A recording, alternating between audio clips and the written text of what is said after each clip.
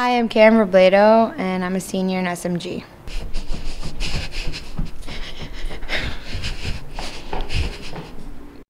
Whew, I just did six miles. When I run, I feel like I'm on top of the world. Like no one can stop me. The adrenaline rush just excites me. I enjoy running in the morning because it clears my head and puts me at ease. When I step on the treadmill, I make sure to turn on my airplane mode on my phone so I don't get any distractions. Then I put on my iPod and just got zoned out. In high school, I had more time on my hands. I also had more energy. I was in the cross country team and the soccer team. When I first started to work out, I was only able to run about two miles, but now I can run up to six miles or so. I like listening to songs like Kanye West and Jennifer Lopez. When I finish my run, I do a couple weights and I stretch and I do some abs.